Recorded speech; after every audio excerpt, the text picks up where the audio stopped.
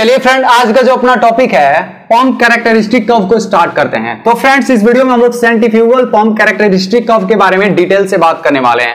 तो friends centrifugal pump क्या होता है? इसके वर्किंग प्रिंसिपल के लिए मैं ऑलरेडी वीडियो अपलोड किया हूँ। अगर अभी तक वो वीडियो नहीं देखे होंगे तो डिस्क्रिप्शन बॉक्स में उस वीडियो का लिंक मिल जाएगा। उस वीडियो को पहले देख लीजिए फ्रेंड्स उसके बाद इसको देखिएगा, आपको अच्छे से समझ में आने वाला है। तो देखिए फ्रेंड्स पंप कैरेक्टरिस्टिक कर्व में जो ये हमारा कर्व वर्ड है कर्व का मतलब क्या होता है? ग्राफिकल रिप्रेजेंटेशन तो किस चीज़ का ग्राफिकल रिप्रेजेंटेशन फ्रेंड्स उसको हम लोग समझ लेते हैं। तो देखिए फ्रेंड्स जब भी हम लोग को सेंटिफ्यूगल पंप कोई भी पंप को खरीदना है, मान लीजिए हमको सेंटिफ्यूगल पंप को परचेज करना है तो हम लोग क्या करेंगे फ्रेंड्स परचेज करने से पहले मैन्युफैक्चरर क्या करता है? एक पंप को बनाता है मैन्युफैक्चर करता है। उसके बाद क्या करते हैं फ्रेंड्स जो मैन्युफैक्चरर होते हैं, उसको टेस्ट करते हैं। बहुत ज़्यादा उस पर मल्टीपल टेस्ट करके देखते हैं कि हमारा पंप का स्पीड को वेरिएशन करके देखते हैं कि उस कंडीशन में हमारा पावर कितना लगेगा फ्लो रेट कितना मिल रहा है, या हमारा प्रेशर हेड कितना डेवलप हो रहा है, या पंप हमारा कितना एफिशिएंसी दे रहा है। मतलब मल्टीपल टेस्ट करके एक ग्राफ को तैयार करते हैं, जिसको हम लोग बोलते हैं फ्रेंड्स पंप का कैरेक्टरिस्टिक कर्व तो फ्रेंड्स यह जो कर्व होता है, वो मेनली तीन टाइप से हम लोग टेस्ट करते हैं। जो मैन्युफैक्चरर होते हैं, इसका जो कर्व को ड्रॉ करते हैं प्लॉट करते हैं, वो तीन टाइप से प्लॉट करते हैं। तो फ्रेंड्स जो हमारा सबसे पहला जो होता है, उसको हम लोग बोलते हैं मेन कैरेक्टरिस्टिक्स कर्व सेकेंड को क्या बोलते हैं? ऑपरेटिंग कैरेक्टरिस्टिक कर्व और जो थर्ड होता है, उसको हम लोग बोलते हैं कांस्टेंट एफिशिएंसी कर्व। तो फ्रेंड्स एक एक करके हम लोग तीनों को समझ लेते हैं। सबसे पहले हम लोग समझ लेते हैं कि मेन कैरेक्टरिस्टिक में मैन्युफैक्चरर है, वो क्या चीज़ को प्लॉट करते हैं और क्या चीज़ देखते हैं। तो फ्रेंड्स मेन कैरेक्टरिस्टिक कब में जो मैन्युफैक्चरर होते हैं, वो क्या करते हैं? स्पीड को वेरिएशन करके देखते हैं कि हमारा पंप जो है, वो कितना पावर ले रहा है, या कितना हमारा फ्लो रेट दे रहा है, या कितना हमारा प्रेशर डेवलप हो रहा है। यानी फ्रेंड्स जैसे हम लोग पंप को चालू करेंगे तो क्या होगा? हमारा उससे क्या होगा? पंप से वाटर क्या होगा? डिस्चार्ज होगा, और डिस्चार्ज होता है तो उसके अंदर कुछ ना कुछ हेड डेवलप होता है, यानी उसका डिस्चार्ज कुछ ना कुछ प्रेशर होता है। और उसके बाद हमारा कितना पंप पावर ले रहा है, उसका रिलेशन जो होता है वो हमारा मेन कैरेक्टरिस्टिक कब के अंदर होता है। तो मान लीजिए फ्रेंड्स कि हमारा जो भी पंप है, उसका आरपीएम जो है, मान लीजिए तीन हज़ार आरपीएम है। मतलब कोई पंप है जिसका स्पीड जो है वो तीन हज़ार मैक्सिमम जा सकता है तो उस कंडीशन में क्या करेंगे? जो मैन्युफैक्चरर होते हैं, जब हम लोग स्टार्टिंग कंडीशन में मेन कैरेक्टरिस्टिक कब में क्या करेंगे? वो पहले स्पीड को मान लीजिए फ्रेंड्स ज़ीरो स्पीड में देखेंगे, फिर चालू जब मोटर करेंगे, उसके बाद देखेंगे 500 स्पीड 600 स्पीड 800 1000 1500 ऐसे करके 3000 स्पीड तक ले जाएँगे। और देखेंगे फ्रेंड्स कि मान लीजिए 800 स्पीड है तो उस कंडीशन में जो पंप है, वह कितना पावर ले रहा है? 800 स्पीड में कितना पावर ले रहा है और उस स्पीड पे हमारा कितना फ्लो रेट है मतलब कितना वाटर का फ्लो हो रहा है और उतना स्पीड पे हमारा क्या प्रेशर डेवलप हो रहा है, यानी डिस्चार्ज जो प्रेशर डेवलप हो रहा है वो कितना हो रहा है, उसके लिए जो जो प्लॉटिंग होता है, जो ग्राफ का रिप्रेजेंट किया जाता है, उसको हम लोग बोलते हैं मेन कैरेक्टरिस्टिक कर्व तो फ्रेंड्स इसके बारे में हम लोग नेक्स्ट वीडियो में बात करेंगे। तो इस वीडियो में हम लोग बात करने वाले हैं डिटेल से किसके बारे में? ऑपरेटिंग कैरेक्टरिस्टिक कर्व तो फ्रेंड्स ऑपरेटिंग कैरेक्टरिस्टिक कर्व में क्या होता है? जो मैन्युफैक्चरर इस कर्व को तैयार करते हैं, कैसे तैयार करेंगे? जो स्पीड होता है पंप का जो स्पीड होता है, उसको क्या करते हैं? कॉन्स्टेंट कर देते हैं। स्पीड को क्या करेंगे? कॉन्स्टेंट करेंगे। यानी जैसे मान लीजिए तीन हज़ार स्पीड है तो तीन हज़ार स्पीड में ही हमारा पंप कंटिन्यू चलता रहेगा। उसके बाद हम लोग देखेंगे क्या फ्लो रेट को वेरिएशन करके फ्लो रेट को कम या ज़्यादा करके हम लोग देखेंगे कि हमारा फ्लो रेट पे हमारा क्या पावर कंज्यूम हो रहा है, या हमारा कितना प्रेशर डेवलप हो रहा है, या हमारा क्या पंप का एफिशिएंसी मिल रहा है। एंड जैसे हम लोग पंप को चालू करेंगे तो पंप का जो स्पीड है, वो पूरा फुल स्पीड में चला जाता है। अगर मान लीजिए इसका स्पीड कितना है, तीन हज़ार स्पीड है तो इसका स्पीड जो है, वो पूरा तीन हज़ार स्पीड चला जाएगा। यानी इनिशियली जो टॉर्क है, बहुत ही ज़्यादा रिक्वायर्ड टॉर्क है इनिशियली बहुत ही ज़्यादा हाई रहता है। तो हाई टॉर्क की वजह से जो मोटर मोटर है उस पर बहुत ही हाई पावर का ज़रूरत पड़ेगा। यानी जब हम लोग पंप को चालू करेंगे फुल स्पीड जाने के लिए, उस समय हमको मोटर पे बहुत ही ज़्यादा लोड लगता है। लेकिन जैसे हमारा स्पीड जो है फुल स्पीड में आ जाता है तो उस समय जो मोटर पे जो लोड है, वो फिर से नॉर्मल आ जाता है। यानी जितना नॉर्मल लोड लेता है, उतना पे आ जाता है।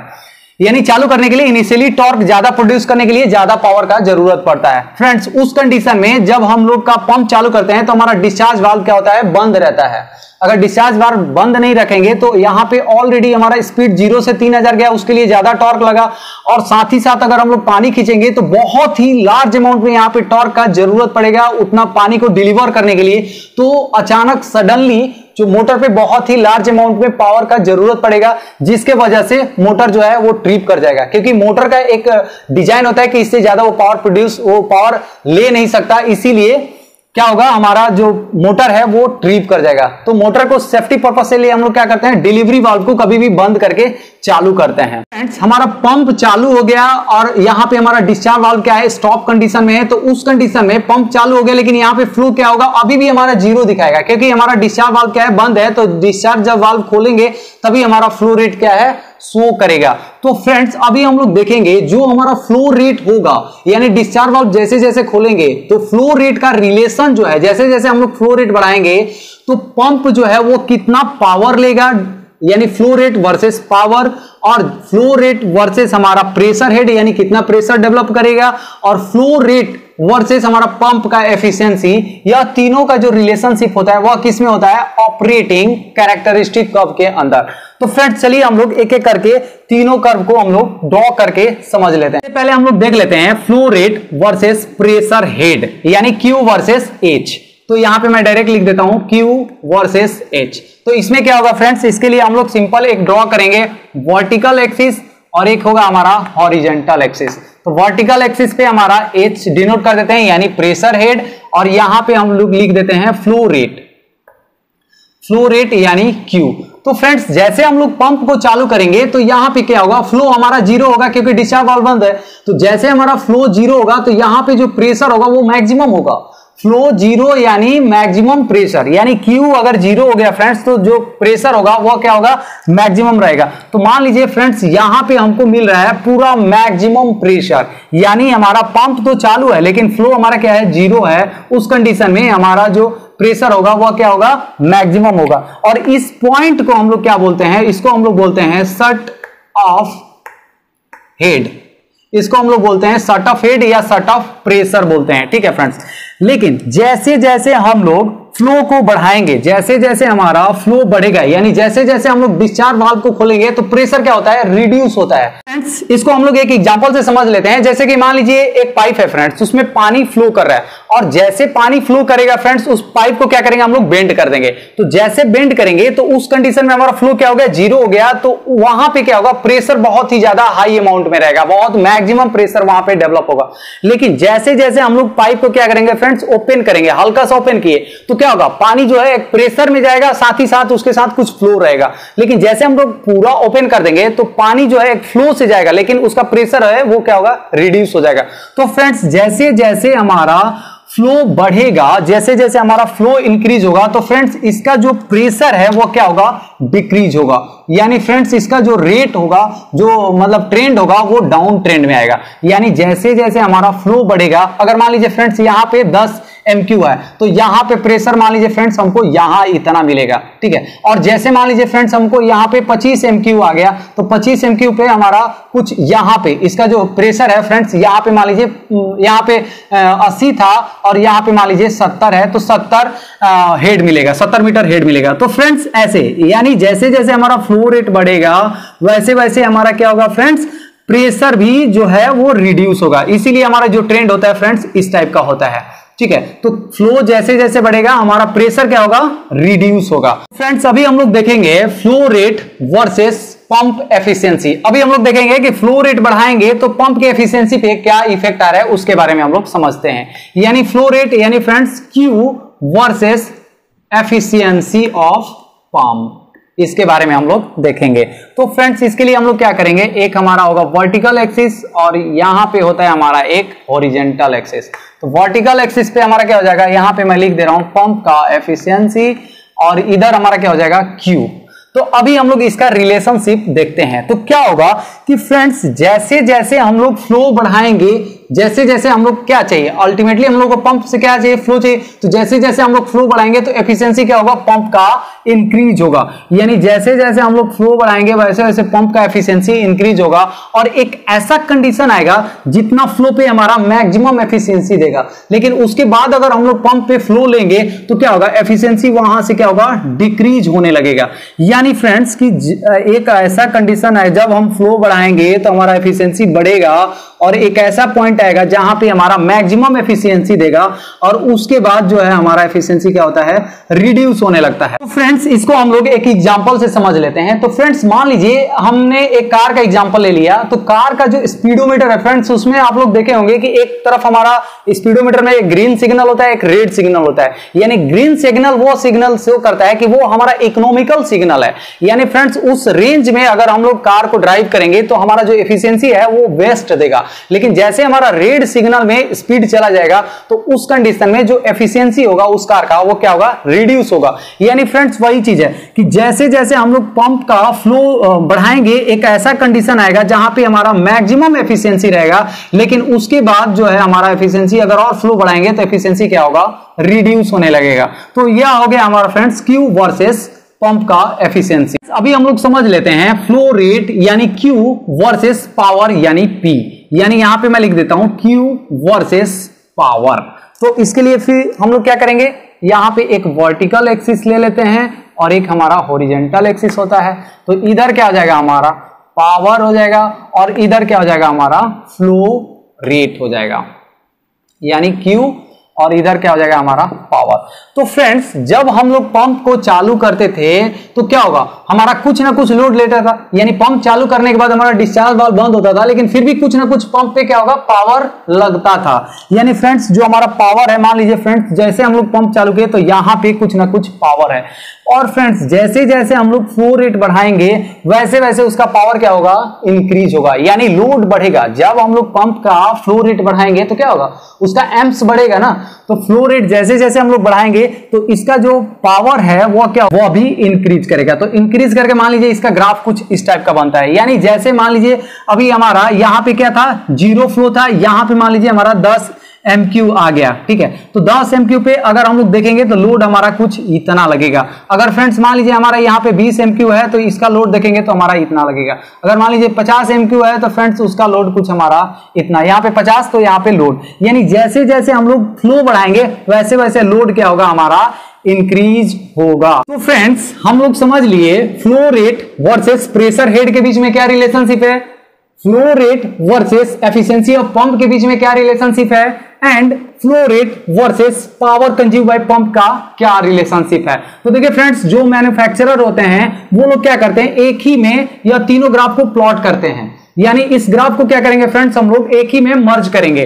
तो हम लोग उसमें देखेंगे फ्रेंड्स की फ्लो रेट वर्सेस पावर का क्या रिलेशनशिप है? And flow rate versus pressure head flow rate versus efficiency of pump को तीनों में हम लोग एक ही में मर्ज करेंगे और उसके बाद फ्रेंड्स हम लोग देखेंगे इसका यूज़ क्या है। फ्रेंड्स इसके लिए हम लोग क्या करेंगे? एक वर्टिकल लाइन यहाँ पे ड्रॉ कर लेते हैं और एक हमारा हो जाता है हॉरिजेंटल लाइन ठीक है?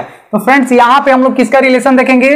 तो पहले हम लोग देखेंगे हेड किसमें रहेगा फ्रेंड्स मान लीजिए मीटर में रहेगा। उसके बाद हमारा क्या रहेगा? हेड के बाद हम लोग पंप का एफिशिएंसी यानी पंप एफिशिएंसी और थर्ड क्या देखना है हमको? पावर यानी कि फ्लो रेट वर्सेस पावर का रिलेशनशिप यहाँ पे हमारा क्या हो जाएगा? फ्लो रेट या किसमें है? क्यू में है। ठीक है फ्रेंड तो अभी हम लोग देखते हैं सबसे पहले फ्लो रेट वर्सेस हेड तो देखिए friends flow rate versus head में क्या है? हमारा सबसे पहले जब हमारा पंप चालू करेंगे और हमारा यह डिशा बाल बंद रहेगा तो इस पॉइंट पे जो प्रेशर रहेगा, वो मैक्सिमम प्रेशर रहेगा। तो फ्रेंड्स मान लीजिए हमारा इस पॉइंट पे, मान लीजिए हमारा कुछ ये पॉइंट है तो सबसे पहले हम लोग इसको नेमिंग कर देते हैं। तो मान लीजिए फ्रेंड्स ये हमारा क्या है? ज़ीरो है। इस पॉइंट पे मान लीजिए हमारा 20 दे रहा है, ठीक है 20 मीटर है। यहाँ पे हमारा 40 मीटर है। ये मान लीजिए हमारा 60 मीटर यह हमारा क्या है 80 मीटर, और मान लीजिए यह क्या है हमारा 100 मीटर। ठीक है फ्रेंड्स?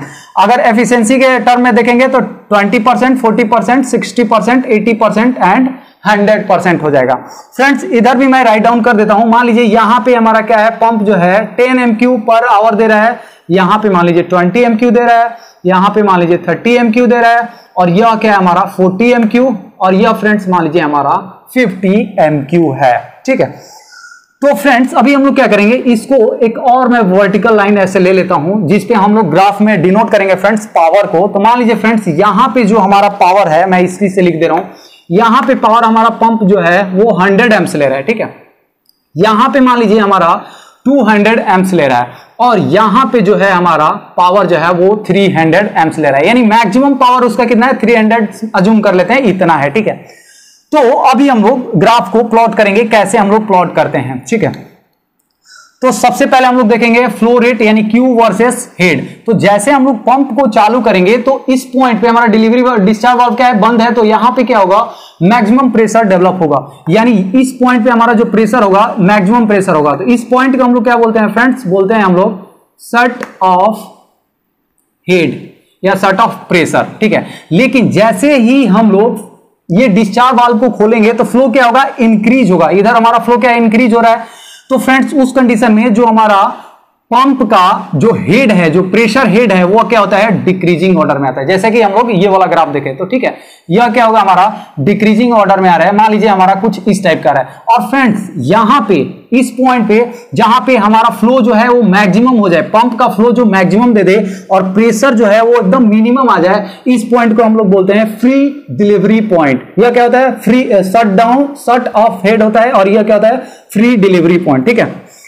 तो यह हो गया हमारा रिलेशनशिप पहला हो गया क्यू वर्सेस एच ठीक है फ्रेंड्स अभी हम लोग देख लेते हैं फ्लो रेट वर्सेस पंप तो क्या है फ्रेंड्स कि जैसे हम लोग पंप का या डिस्चार्ज वाल्व खोलते हैं तो एक डिजायर्ड फ्लो तक, मान लीजिए हमारा 20 मान लीजिए 25 एम क्यू पर यह जो पंप है वह क्या है? पूरा एकदम फुल एफिशिएंट है। पूरा एफिशिएंसी फुल एफिशिएंसी दे रहा है, ठीक है?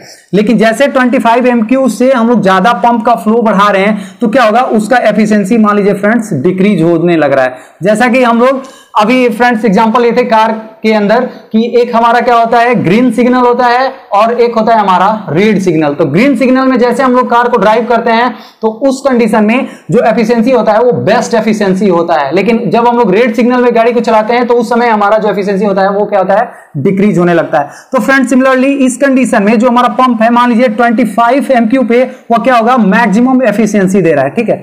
इस पॉइंट को थोड़ा यहाँ पे जो पॉइंट होगा, ये पॉइंट इसको हम लोग बोलते हैं मैक्सिमम एफिशिएंसी एम एक्स लिख दे रहा हूँ। मैक्सिमम एफिशिएंसी ठीक है फ्रेंड्स और फ्रेंड्स जब हम लोग मैक्सिमम एफिशिएंसी से एक लाइन ड्रॉ करेंगे और आते हैं फ्रेंड्स किस पे? प्रेशर हेड पे। तो इस पॉइंट को क्या बोलते हैं हम लोग? बी ई पी यानी बेस्ट एफिशिएंसी पॉइंट इस पॉइंट को क्या बोलेंगे फ्रेंड्स बेस्ट एफिशिएंसी पॉइंट यानी क्या होगा फ्रेंड्स कि हमारा अगर 25 एमक्यू फ्लो रेट हो और प्रेशर के टर्म में देखेंगे फ्रेंड्स तो यहाँ पे मान लीजिए हमारा प्रेशर कितना है?